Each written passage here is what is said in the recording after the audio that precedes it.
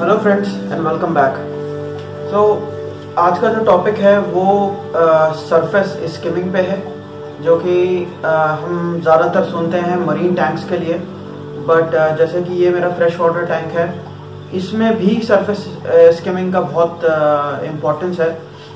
क्योंकि यूजुअली क्या होता है कि हमारे घरों में एक्वेरियम्स खासकर जो प्लांटेड एक्वेरियम होते हैं वो उस पर या तो इस तरह की लाइट लगी रहती है और वो ऊपर से खुला होता है। ऊपर से भी डस्ट आती है थोड़ा सा कुछ लेवल का एक ऑयली जैसी फ़िल्म भी जम जाती है। कई बार आपके ये जो प्लांट्स हैं, इनकी जो टूटी हुई लीव्स हैं या अगर स्नेल्स हैं तो वो लीव्स को काट देते हैं या खा लेते हैं तो वो भी तैरती रहती है ऊपर। और दूसरी दूसरा जो स्किमिंग का जो बेनिफिट है वो ये है कि एक तो आपके वाटर को वो पॉलिश कर देता है। तो उससे बहुत ही क्लियर वाटर हो जाता है। तो उसका सोल्यूशन क्या है? उसका मरीन टैंक में तो उसका प्रोटीन स्कीमर आता है, वो खरीद सकते हैं बट यहाँ पे जो मैं बात कर रहा हूँ, वो फ्रेश वाटर टैंक की प्लांटेड वाटर टैंक की बात कर रहा हूँ। तो उस, उसमें भी बहुत सिंपल मेथड है। उसको जो लगाने का और उसको बनाने का है जो मैं यूज़ करता हूँ उसमें एक आपको छोटी बॉटल चाहिए। आपको एक्वेरियम फ़िल्टर वूल चाहिए और एक पावर हेड चाहिए। इन तीन चीज़ों से आप बहुत ही इजीली उसको बना सकते हैं और बहुत अच्छा रिज़ल्ट आता है उसका। आ, मैं आपको दिखाऊँगा स्टेप बाय स्टेप कि वो कैसे बनाया जाता है और उसमें क्या बेनिफिट आया। उसमें जब वो फ़िल्टर चल रहा था तो क्या दिक्कतें आई वो सब मैं आपसे डिस्कस करूँगा आज शेयर करूँगा। तो चलिए मैं आपको दिखाता हूँ कि कैसे उसको डिटेल में किया और उसका क्या रिज़ल्ट आया।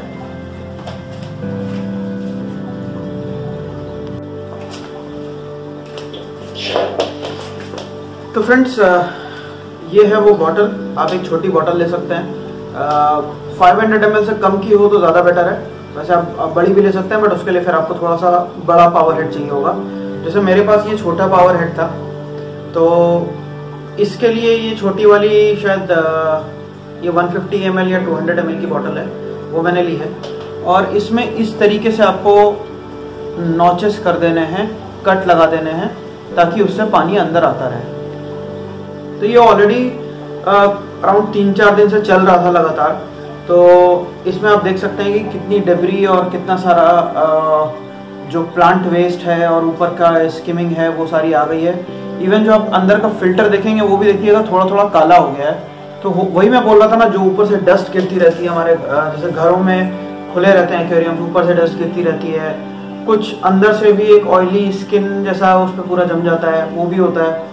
तो इसकी वजह से देखिए, ये थोड़ा डार्क डार्क भी हो गया है साइड में। तो ये काफ़ी अच्छा काम कर रहा था। आपको करना क्या है, इस तरह के नॉचेस लगाने हैं, इसके अंदर अगर आप कर सकते हैं तो फ़िल्टर वूल भी होता है एक्वेरियम फ़िल्टर वूल वो डाल सकते हैं। नहीं तो आप जो नॉर्मल आपका स्पॉन्ज आता है, बस ये ध्यान रखिएगा कि जो स्पॉन्ज है वो थोड़ा परफोरेटेड इस तरह का हो कि वो जब आपका पावर हेड पानी खींचे तो वो उसमें से प्रॉपरली निकलता रहे। तो करना आपको यही है कि इसको इसमें फिट कर देना है इस तरह से और इसको एक्वेरियम में लगा देना है। ध्यान रहे कि ये जो नॉचेस हैं, ये पूरी तरीके से पानी में ना डूबे हों। ये ऑलमोस्ट इतना इतना हिस्सा इसका बाहर रहना चाहिए ताकि पानी उसमें से अंदर आ सके। तो ये एक सिंपल लॉजिक है जिससे कि आपकी स्किमिंग बहुत अच्छी और बहुत ही क्लीन हो जाएगा। आपका वाटर आपको खुद ही दो चार दिन के बाद पता लगेगा कि ये काफ़ी क्लीन हो गया है। तो ये बेसिकली फ़िल्टर नहीं है, ये स्किमर है बट अगर आपको इसको फ़िल्टर की तरह यूज़ भी करना है तो उसका सबसे बेस्ट मेथड ये है, क्योंकि ये सिर्फ़ एक मैकेनिकल फिल्ट्रेशन है, इसमें कोई बायोलॉजिकल या कुछ नहीं है। तो इस इस जो भी आपका फ़िल्टर मटेरियल है स्पॉन्ज है या फ़िल्टर बूल है, उसके नीचे आप यहाँ पे जो जगह है, उसमें आप बायोलॉजिकल फ़िल्टर जो डाल सकते हैं आप सेरामिक रिंग्स वगैरह जो हैं, वो डाल सकते हैं। तो ये आपका एक तरह से नॉर्मल फ़िल्टर की तरह भी काम करेगा पॉलिशर के साथ साथ। तो तो फ्रेंड्स यही है। लोग यूजुअली कहते हैं कि फ्रेश वाटर एक्वेरियम में स्कीमर की कोई ज़रूरत नहीं है। इनफैक्ट होती भी नहीं है लेकिन आ, अगर आपको एक्स्ट्रा क्लियर वाटर चाहिए आपको कोई आ, जो आपकी डबरी उड़ती रहती है इस पे वो सारी आपको क्लीन चाहिए तो ये बहुत अच्छा सोल्यूशन है। बहुत ही सिंपल सस्ता चीप सोल्यूशन है, आप इसको यूज़ कर सकते हैं। और प्लीज़ मुझे बताइएगा कि ये यूज़ करके आपको क्या बेनिफिट मिला उसके अंदर जो लगाने के बाद जो आपको वाटर की क्वालिटी का डिफरेंस मिला। आप चाहें तो पहले उसकी फ़ोटो एक खींच के रख सकते हैं और उसके बाद स्किमिंग के बाद एक फ़ोटो खींच के रख सकते हैं। तो प्लीज़ मुझे कमेंट करके बताइएगा।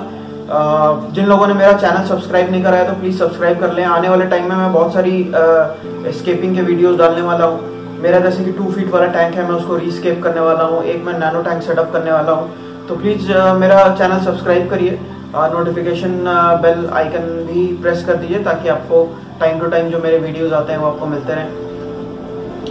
Thank you very much for watching friends and have a good day